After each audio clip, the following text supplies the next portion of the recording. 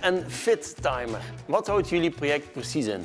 Ons project houdt in als uh, de persoon gaat fietsen, dat er dan een video afspeelt, zodat ze gemotiveerd blijven om verder te gaan fietsen. Kunt u nog even uitleggen hoe dat het werkt? Dus de leerkracht duwt dan hier op de knop, dus je houdt een paar seconden in en dan begin je te trappen.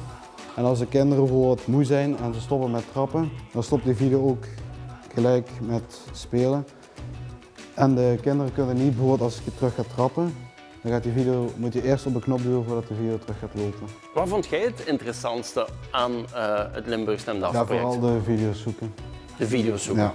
Dat was wel een uitdaging, want ik weet ook niet wat die kinderen graag kijken.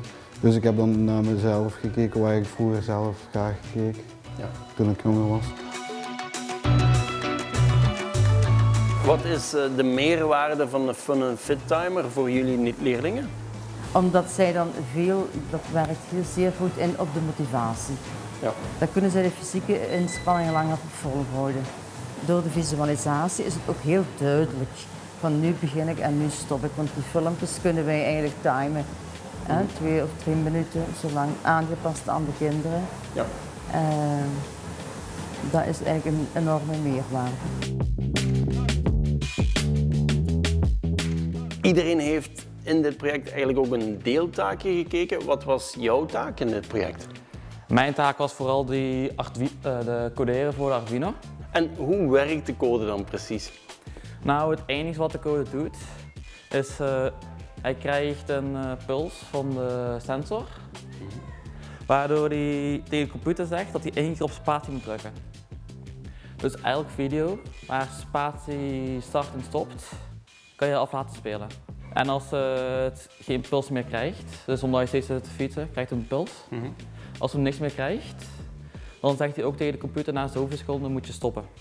Ja. Of nog eens drukken op spatie, dan stopt het video. Wat vond jij het leukst aan dit project? Gewoon het samenwerken met de klas. Gewoon een manier zo hoe alles werkt. En is dat moeilijk om samen te werken met andere leerlingen? Nee, ik heb er niet zoveel moeite mee. Nee. Ik ben vrij vlot in babbelen, dus dat lukt wel. Maar ik heb je Als je in de toekomst moet gaan solliciteren, welk leermomentje neem je mee uit dit project? Dat je niet moet opgeven en dat je altijd andere mensen voor hulp kan vragen. Ja. We hebben dat misschien niet veel gedaan, maar het is gewoon handig, want dan kan je sommige dingen wat sneller leren en maken. We hebben vooral leren werken met hoe je ChatGPT op die manier kunt gebruiken voor het programmeren van Arduino dan. Mm -hmm. We hebben ook heel veel leren werken met Arduino. En ben je tevreden met het eindresultaat? Ik denk dat we in het algemeen wel tevreden zijn met het eindresultaat van ons project. Alleen de afwerking is wat minder momenteel. Maar ik denk wel dat we daar nog wel iets op kunnen vinden. Straks komt Marlijne op bezoek samen met haar ouders. En de mama van is dol op appeltaart.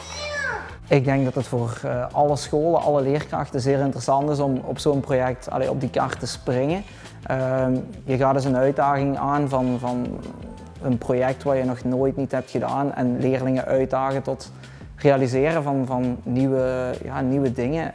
Wat zeer leuk is, we hebben iets gedaan voor de lagere school, dus je doet ook nog maatschappelijk, uh, zorg je dat je mee, je mee bijdraagt aan iets leuk voor de maatschappij. Ja.